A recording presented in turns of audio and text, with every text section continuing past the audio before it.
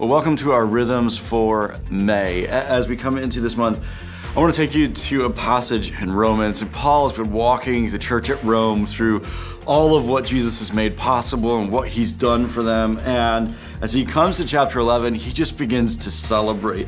Listen to what he says. He says, Oh, how great are God's riches and wisdom and knowledge, how impossible it is for us to understand his decisions and his ways. For who can know the Lord's thoughts? Who can who knows enough to give him advice? And who has given him so much that he needs to pay it back? For everything comes from him and exists by his power and is intended for his glory.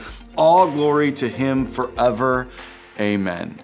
He comes to this point and he just begins to celebrate the complexity, the beauty, the power of God's plan, his wisdom, his understanding. Look at this story that he's told. Look at what he's done. And as he's walking them through that, I, th- I think it should encourage us I think it should remind us again of the complexity of his own plan in our lives. I mean, think through all that went into his pursuit of you. Not just what he did in terms of Jesus giving his life for you and make it possible for you to be adopted into God's family, but the complexity even inside of your story of how he's pursued, how he's loved, how he's revealed himself. It's it's phenomenal. And yet, sometimes in life, we can come to the point where we begin to think that God should take advice from us.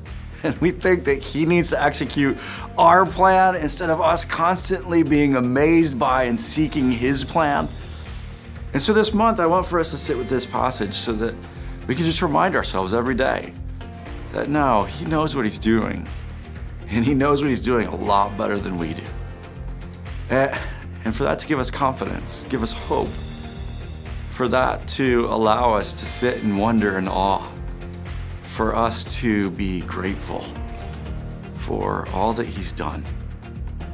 I hope that will fill your month as you sit with this passage.